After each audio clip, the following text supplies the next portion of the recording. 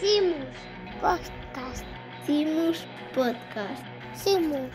Simus Podcast. Con Paula y Ana. Esperamos que vos guste o programa.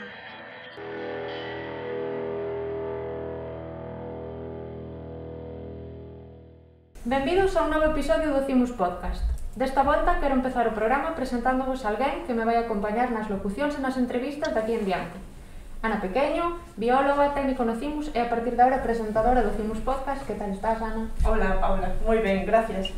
Bueno, hola a todos, eu son Ana, traballo aquí no CIMUS en Santiago como técnico de laboratorio e vou relevar a Martín, o meu compañeiro, no cargo de presentador do programa, espero, bueno, facelo tamén como a él, e, eh, bueno, dende aquí damos as gracias a Martín.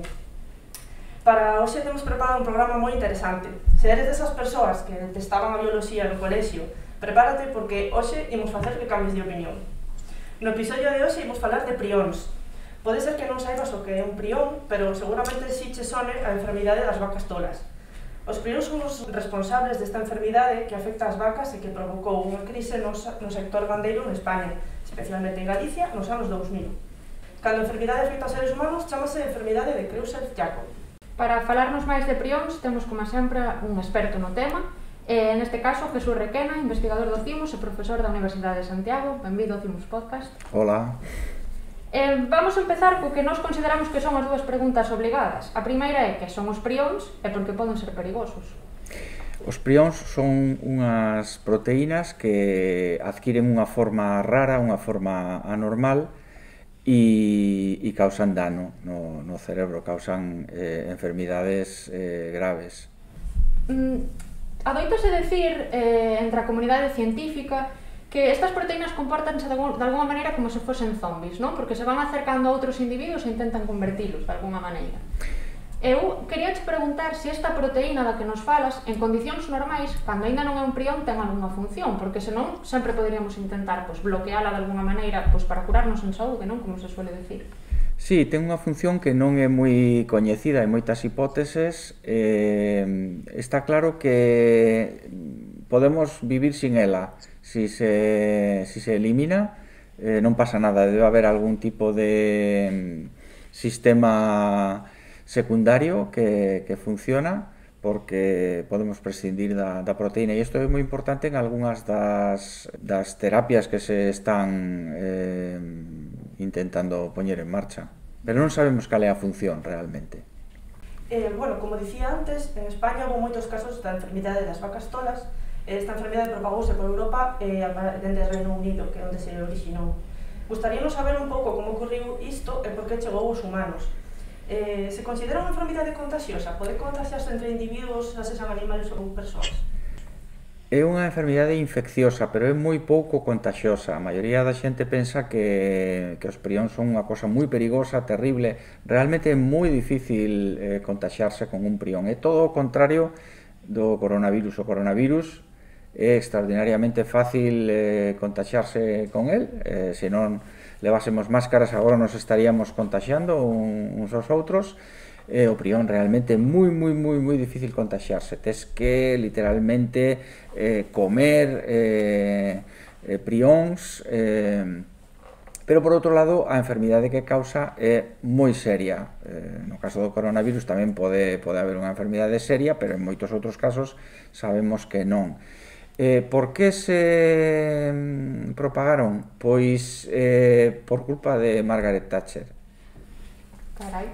eh, isto como pode ser? Pois porque en aquela época eh, no Reino Unido se implementaron unhas políticas ultraliberais eh, onde todo era o, o beneficio, recortes extremos e unha das que, que non digo que eso se malo, eu non estou aquí facendo política, pero unha das consecuencias que, que tuvo foi que os que preparaban un tipo de eh, produto que se denominan fariñas cárnicas, que son alimentos, suplementos alimentarios para o gando que se obtén a partir de cadáveres de animais, animais vellos que se sacrifican ou que enferman ou, ou que morren, pois eh, esto se procesaba e se fabricaba un produto moi rico en, en proteína que ven moi ben para eh, o sector gandeiro, sobre todo para o leite, porque producen eh, eses animais pois, moito leite rico en proteínas,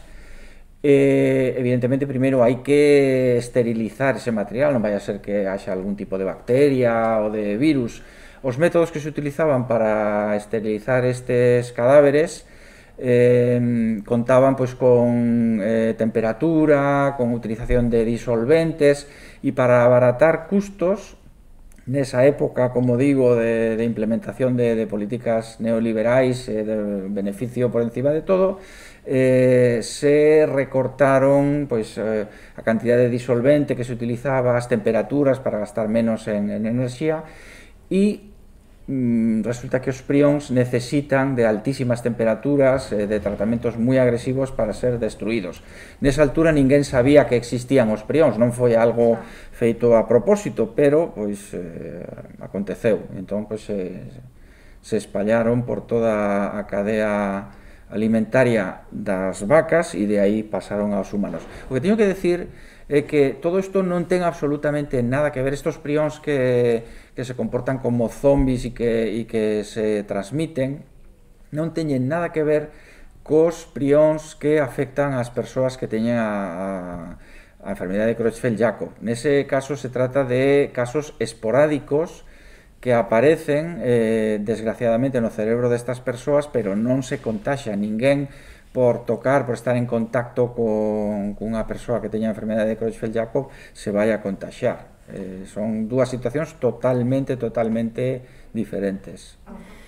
Eh, bueno, un pouco en relación con isto, o noso seguidor en Twitter, Carlos, eh, ten interese en saber se o prión pode adquirirse tomando leite dunha vaca infectada. Non. É, é non hai non hai evidencia de que eso poida acontecer, se estudou moi a fondo, eh, pero o máis importante é que agora non hai xa vacas infectadas. Isto sería unha pregunta moi relevante hai 20 anos cando realmente pois había unha crise. Actualmente sería unha pregunta interesante pero de carácter académico porque ninguén eh, vai a estar xa en contacto nunca máis cunha vaca infectada e polo tanto ninguén vai a beber nunca leite de, de unha vaca claro. infectada. Eh, vale, por outro lado, preguntámonos se, eh, ademais do consumo de carne de, de animais enfermos, naquele momento no que sí que había epidemia, se hai outros desencadeantes que induzan a formación de prións, como, por exemplo, o poden ser hábitos diarios, consumo de fármacos ou algunha outra razón? Non hai ningún que, que se coñeza neste momento, non, non podemos falar de ningún é algo que acontece eh, con, con, de forma moi moi moi rara. Eh, producese un caso pois por cada millón de persoas cada ano. Eh, pero non temos ningunha evidencia de que ningún tipo de, de comportamento de hábito favoreza ou eh, impida ese, ese acontecemento. E hai alguma forma hereditaria? Podese pasar esta, esta estos prións de, de, de pais a fillos, de alguna maneira? Tamén hai formas hereditarias. Esta é unha enfermidade moi rara porque ten esas tres eh, formas. A forma infecciosa, cando tú entras en contacto con prións xa formados, pois un prión que estaba eh, nunha vaca e que tú consumes, a forma espontánea, cando te aparece a ti na, no teu propio cerebro, eh, e tamén existe a forma hereditaria ou xenética que é cando tes unha mutación no, no xen que codifica a proteína priónica e esa proteína priónica é inestable e ten unha tendencia a eh, malpregarse, a, a adquirir esa, esa forma aberrante. Eh, efectivamente, existen unha serie de, de mutacións en algunhas familias eh, e, e se, se transmiten de forma dominante de, de pais a, de pais enais a, a fillos. Bueno, de calquera maneira moi pouco frecuente, non? Extraordinariamente moi moi pouco frecuente, pois eh, existen, pois non sei, unha dúcia ou dúas dúcias de grupos familiares de eh, en España, por exemplo, que, que estean afectados ou eh, por exemplo en Israel eh, hai moita máis prevalencia pois por eh, pola endogamia que, que tuveron os xudeus durante moito tempo, vivían en comunidades moi eh, estancas, con, con bastante endogamia, non se misturaban, eh, e entón pois eh, teñen unhas prevalencias máis altas de determinadas mm, enfermidades xenéticas, entre elas pois as enfermidades priónicas. Falabasnos antes, eh, bueno, introducías un pouco o tema das terapias, E outro seguidor noso en Twitter, José Erga00, eh, preguntaba como pode a investigación axudar a desenvolver terapias. E o propio investigador principal do CIMUS, José Tubío, tamén eh, preguntaba se sería posible deseñar unha especie de vacinas contra os prións. Pois, eh, como non Tubío dai perfectamente no, no albo, porque si, sí, esa é unha, unha das liñas de, de investigación. Eh, se están intentando desenvolver vacinas, pero temos o, exactamente o mesmo problema que hai ca enfermidade de Alzheimer, e é que todo isto acontece no cerebro, e o cerebro está protexido do resto do corpo por unha especie de muralla eh, infranqueable que, que é pois a barreira hematoencefálica, é unha barreira que existe entre o encéfalo, o cerebro, e o sangue, hemato eh, eso nos ven moi ben para protexer o cerebro que é, como decía Woody Allen, o segundo órgano máis importante que temos, eh, pero, eh, claro, cando queremos nos acceder aí para curar, para meter fármacos, pues, ou para meter unha, unha, unha vacina, ou para que os anticorpos, mellor dito, eh, xerados por unha vacina, cheguen ali, pois pues, é extraordinariamente difícil. Ademais, hai unha segunda dificultade, e é que a proteína a fin de contas eh, é a mesma, é simplemente que se pregou de unha maneira distinta. Isto vai entender Tubío unha cosa un poquinho máis complicada de explicar, pero eh, calquera que entenda como funciona o sistema inmunitario eh, pois verá inmediatamente que se si tú queres facer unha vacina eh, para unha proteína concreta, eh, que simplemente eh, cambia de conformación é algo extraordinariamente difícil porque a proteína sigue sendo a mesma simplemente cambiou de forma. E a forma en que funciona o sistema inmunitario eh, pois eh, é de tal, de tal xeito que é moi difícil eh, facer unha vacina eh, para ese tipo de proteínas. Porque sería máis complicado facer algo que sexa selectivo para esa forma, non? De alguna maneira. Claro, é que o sistema inmunitario non funciona normalmente así. O sistema inmunitario que fai é trocear as proteínas e despois eh, os anticorpos eh, se fabrican para pequenos trozos. Esos pequenos trozos van a ser iguais na proteína cunha forma correcta que na proteína cunha forma totalmente aberrante. Si tú machacas esa proteína cun martelo, podemos imaginar os trozos que vas a... Eh, producir ao final son os mesmos. E, e con eso é co que máis traballa o sistema inmunitario. Eh, os que de, estamos de alguna maneira relacionados co mundo da ciencia, estamos acostumados a que neste mundo sempre se intente pois, ser orixinais, probar novas técnicas, eh, innovar e ir cada día un pouco máis lonxe. Pero falando de ir lonxe, vos levades vos a palma, non? Porque, como destacaba Catiana Nove en Twitter, o vosso grupo vai levar a cabo un estudio, nin máis nin menos, que na Estación Espacial Internacional. Eh, Catiano preguntaba, que nome ten a proteína que ides estudar alá? E cales son as perspectivas ou as vantaxes que ten traballar mm, no espazo que non vos ofrece pois, traballar aquí nun laboratorio en terra firme? Pois a proteína é precisamente a proteína priónica. Non vamos a mandar prións eh, infecciosos, eso que quede moi claro porque daría para unha peli de, de ciencia ficción mandar eh, unha especie de alien que despois eh, estou exagerando. Eh, vamos a mandar a proteína normal, a proteína perfectamente pregada como a temos no noso cerebro e eso xa estamos traba, traballando neso nestos momentos. Está aí Sonia no, no meu laboratorio ahora mesmo estaba concentrando eh, a proteína eh, para facer probas E eh, non sei como era a outra pregunta. Cales as vantaxes? Que ah, as vantaxes é que mola moito. É dicir, podemos, podíamoslo facer aquí no noso laboratorio, pero mola moito. Non, a vantaxe é que eh, que ali eh, hai gravidade cero. E non o que vamos a intentar facer, non, non únicamente nós, é eh, un consorcio de grupos de Israel, de, de Italia, e eh, nós, o que vamos a facer é intentar eh, preparar un cristal, cristalizar eh, unha forma concreta, non a, pro, non a proteína tal e como está, sino unha forma peculiar, que nin é a boa nin é a, a mala, e, e eso, pois, de momento intentámoslo facer aquí na, na Terra, intentaron os nosos eh, colegas italianos facelo en, en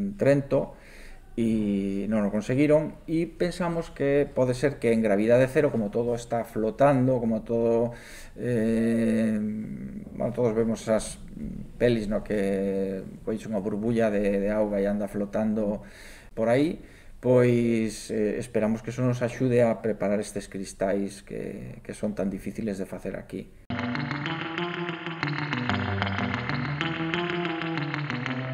Eh, bueno, gustaríamos agora dar a benvida ao programa Susana Oveo, membro e fundadora da Asociación CJ de Española de Creuseltia Jacob Tisis, e que nos atende por videoconferencia. Hola, Susana. Hola, bons días. Moitas gracias por aceptar a nosa invitación e vir a participar no Cimus Podcast. Eh, sabemos que esta é unha enfermidade rara que afecta a un de cada millón de habitantes eh, que é pouco coñecida, así que dinos, cal é a razón que che, que che levou a involucrarte nunha asociación como esta? Pois eh, foi a causa de meu pai, que foi diagnosticado con Creutzfeldt-Jakob de tipo esporádico fai agora case 11 anos.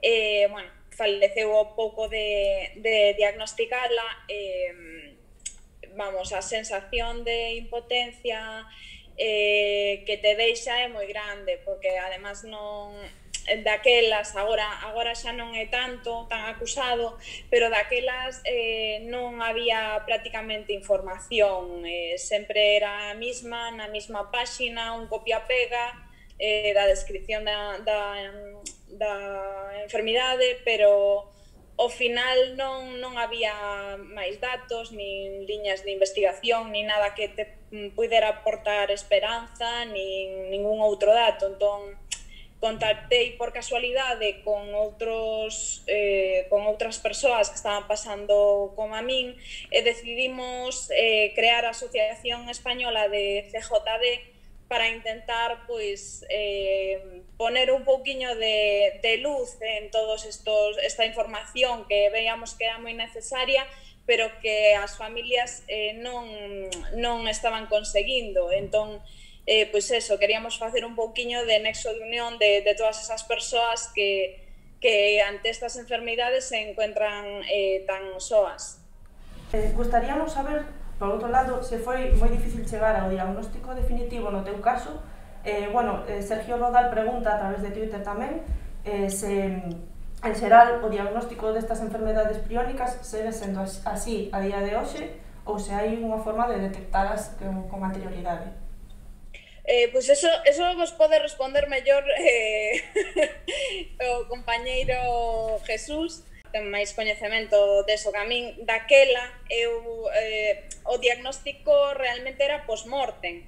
Eh, pero vamos, eh, eles sospeitaban en todo momento descartando outras patoloxías e co que se quedaban era cunha era unha patoloxía eh, de unha enfermidade priónica.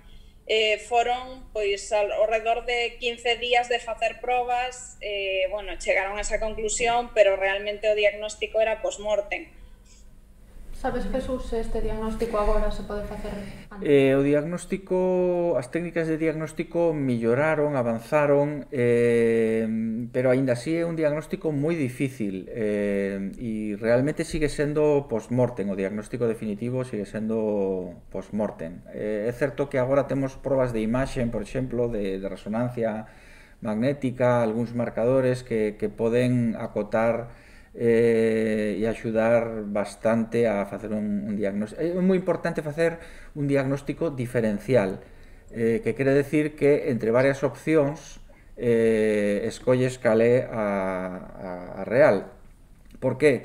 Porque hai algunhas enfermidades que teñen manifestacións eh, clínicas similares, pero que sí que teñen tratamento Eh, entón é moi importante saber, poder descartar se si realmente eh, o que estamos vendo é unha desas que se poden tratar e buscar o tratamento. Eh, polo tanto, estamos un, un poquinho mellor que naquela época da que falaba Susana, pero eh, pero sigue sendo bastante difícil. E como son tan raras, o que pasa moitas veces é que o neurólogo, a neuróloga que, que trata a ese paciente, pois nunca viu un caso similar e pode ter coñecementos profundos, pero nunca o viu e entón moitas veces pode ter eh, dúbidas. Gustaríame, Susana, mm, pasar un pouquiño a, a falar do que facedes na vosa labor na asociación, non? Poderías nos decir un pouco que é o que podedes ofrecer aos familiares dos pacientes que teñen este tipo de, de enfermidades? Sí, claro. A nosa labor principal eh, é o acompañamento e asesoramento das familias eh, que padecen estas enfermidades.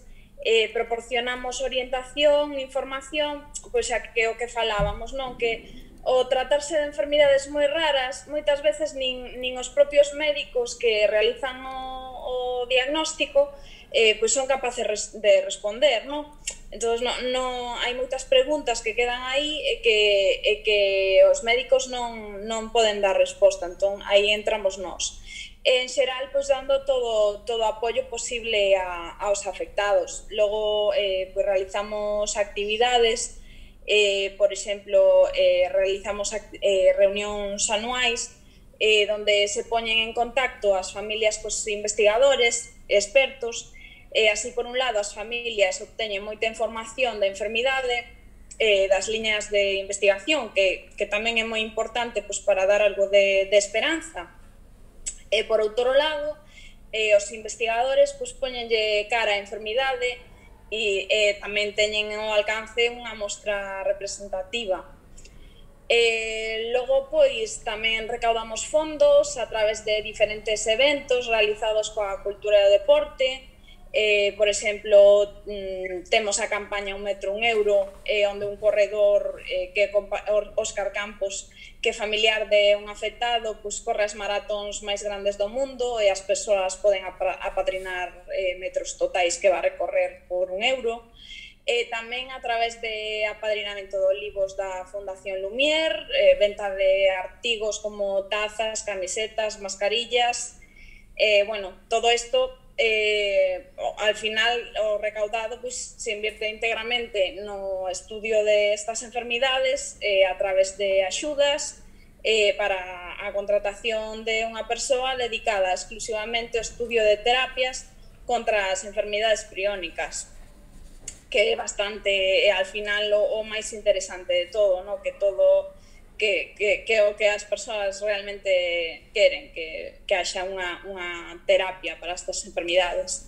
Pois dende, dende aquí dando Cimus Podcast queremos aproveitar para animarvos a todos os que nos estades escoitando agora a colaborar, a difundir o traballo desta asociación que repetimos que é a CJD Española para que poida chegar a toda a xente que, que o necesita.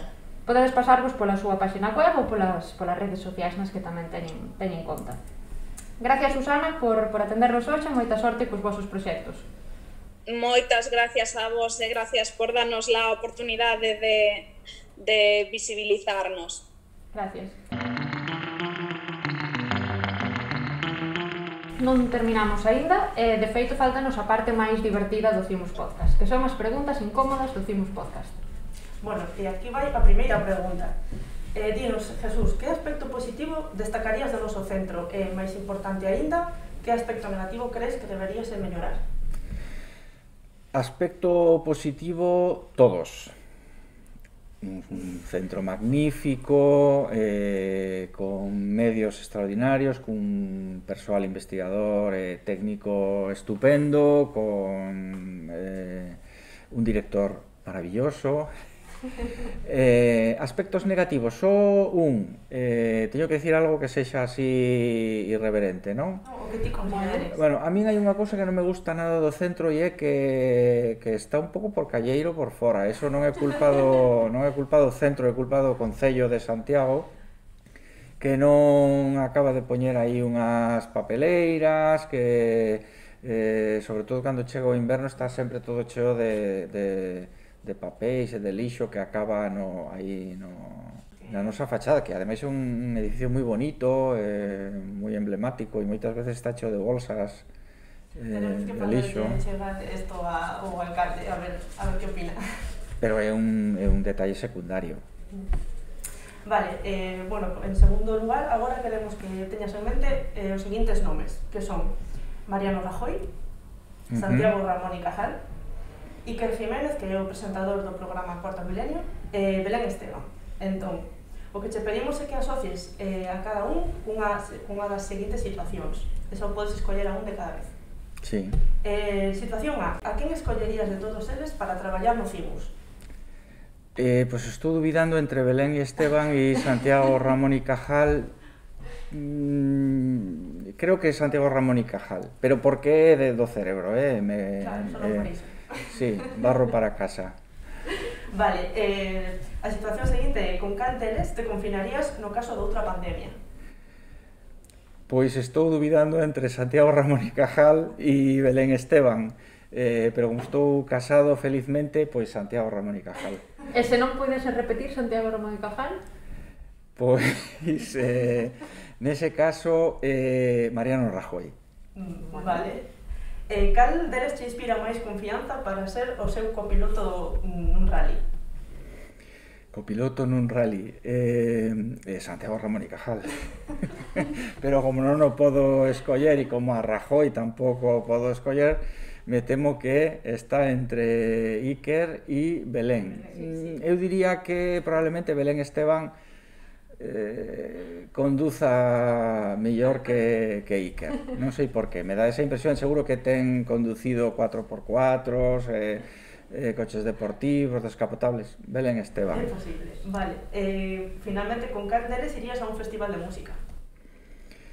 Eh, oh, depende de qué tipo de música. Evidentemente, para ir a un concerto de música clásica, pues seguro que Ramón y Cajal.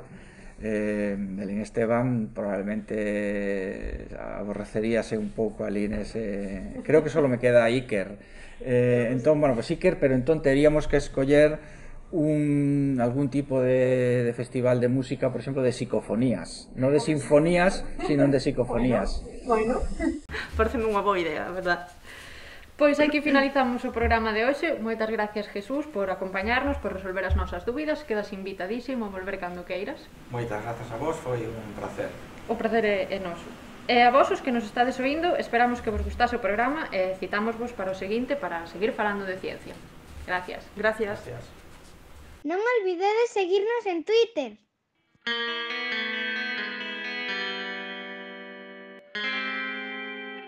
you.